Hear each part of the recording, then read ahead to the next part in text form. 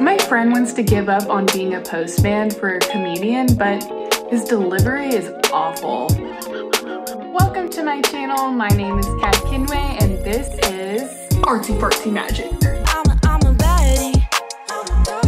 I'm a, I'm a baddie. Yeah, I know I look better than all the If you're new to my channel, I tend to talk about random subjects and draw at the same time. What? It's so crazy. It's almost magical. Okay, let's go.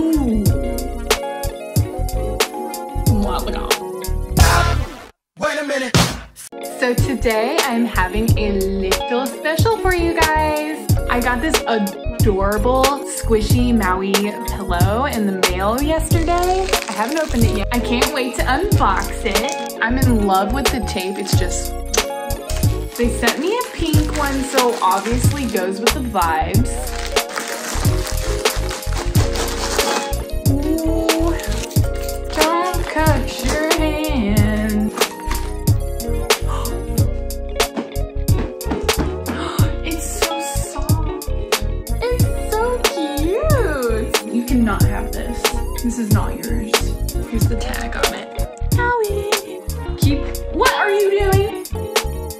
Why do you think everything is yours? I shall call her Squish. Y'all, if you love this plush pillow, you can click the link below and use my code ARTSY and have 15% off one of these babies.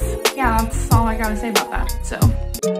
Let's go. So, really good news, and maybe not for my art journey, but good news for me. Life update I'm going back to school, yay, in August. So, I won't be posting weekly videos all the time. It'll probably just be more like once a month or whenever I have time to post. Not as frequent, but I'm definitely going to keep doing my art. It's definitely a passion of mine, it's never going to stop.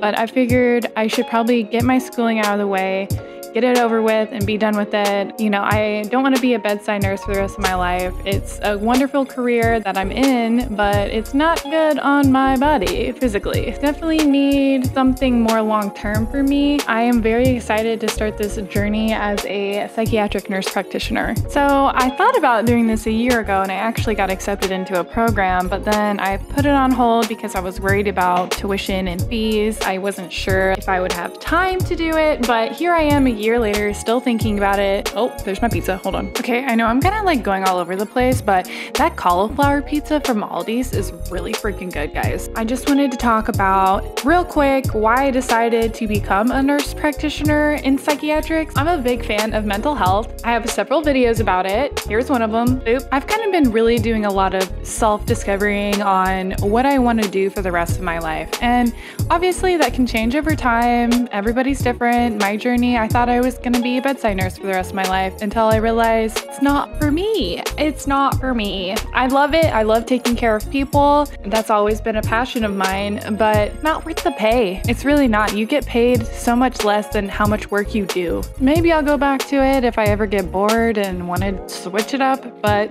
Honestly, I really want to focus on taking care of people's mental health, and it definitely is a passion of mine. I grew up in a home where people were mentally unstable, so that is the perfect place for me.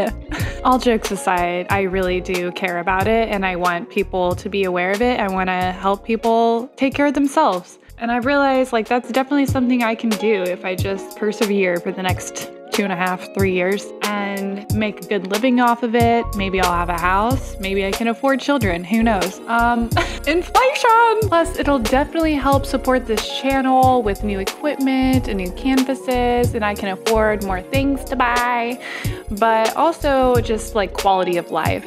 I thought I wanted to be a full time artist. I still want to be a full time artist, maybe eventually in the future, but I'm just kind of thinking of like insurance benefits and all of that. I really don't want to go through doing that for myself. I would rather just have a consistent, stable job, knowing that I'm gonna have income coming in, but it can also help with my painting career. Plus, I don't wanna do commissions for people anymore. I just kinda wanna paint for myself. One. Two, art therapy. I can learn about art therapy and do that for my patients and help other people express their own creativity through art. Oh, I'm just so excited to start this journey. Yeah, I thought about becoming a tattoo artist at one point, but then I was like, woo.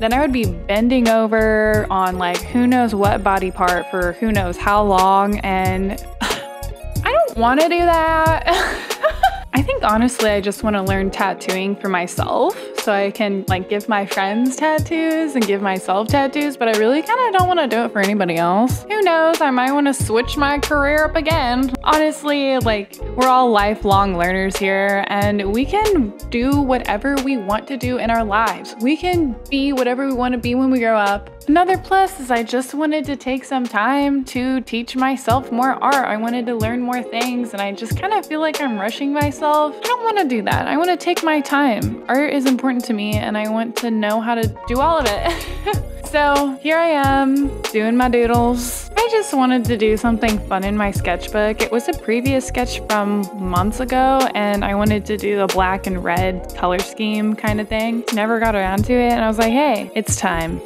I know I normally just pick about one thing to talk about and stick to it, and this video is kind of all over the place, but that's just me as a personality. I've realized that I tend to stay focused for like a super long time, depending on what you consider long, and then I get distracted and I want to do random videos about just random things. And it turns into a random channel. It's still art though. Everything is very art related, but what I talk about is irregular. Like you never know.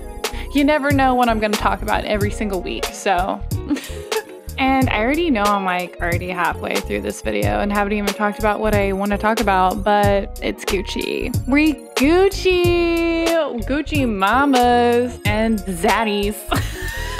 I don't want to leave the non binary people out, but I don't have a fun name. I'm sorry. Love you. All right, here's the topic life after death. Oh my God, we're getting serious. We're getting serious. Well, not really. I just wanted to talk about how I watched a couple of videos of people having near death experiences and how much, I guess, less fear I have after watching it. Like, I don't have as much fear about death now.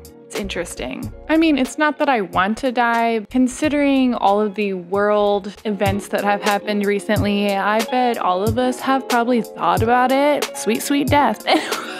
This is so bad. I am I'm trying to be sarcastic and it's not really working out. The point is, after watching these videos, I just realized like, you know, life isn't too bad. Life is really all about helping others and showing love to others and spreading love and just being kind. We are spiritual beings that are having an experience in a physical body form. Like we all have consciousnesses that live on, but our physical body does not. Regardless of whether you have a religion or not, I firmly believe having any sort of belief, like any sort of spirituality, like I'm not religious at all, but I am very, I'm a very spiritual person. It's okay to be atheist, okay? Like I'm not saying like you have to have a belief for you to be a good person. I'm just saying it helps your mind be at peace. It gives you a sense of calm and just, I don't know, make death easier, I guess. If you ever get the chance to look up Nancy Rynes story, you should definitely look into it because it's crazy and it's so believable too. I mean, I believe her, to be honest. I do because there's been so many people that have reported near death experiences and it's all kind of relatively similar to each other. So there was a study done about near death experiences, aka NDEs, and while no two NDEs are the same, there are characteristic features that are commonly observed in NDEs. These characteristics include a perception of seeing and hearing apart from the physical body, passing into or through a tunnel, encountering a mystical light, intense and generally positive emotions, a review of part or all of their prior life experiences, encountering deceased loved ones, and a choice to return to their earthly life. And the participants in the study had to be like on a certain requirement. So they had to have a lucid experience, meaning like they couldn't have disorganized thoughts or like barely remember any of it. Like it had to be completely lucid. Like they had this experience and they were literally dead. Like in need of cardiac pulmonary resuscitation. Considering NDEs from both a medical perspective and logically, it should not be possible for unconscious people to often report highly lucid experiences that are clear and logically structured. Most NDEers report supernormal consciousness at the time of their NDEs. I can definitely go more into this in a different video. If you guys would like that, just leave a comment down below.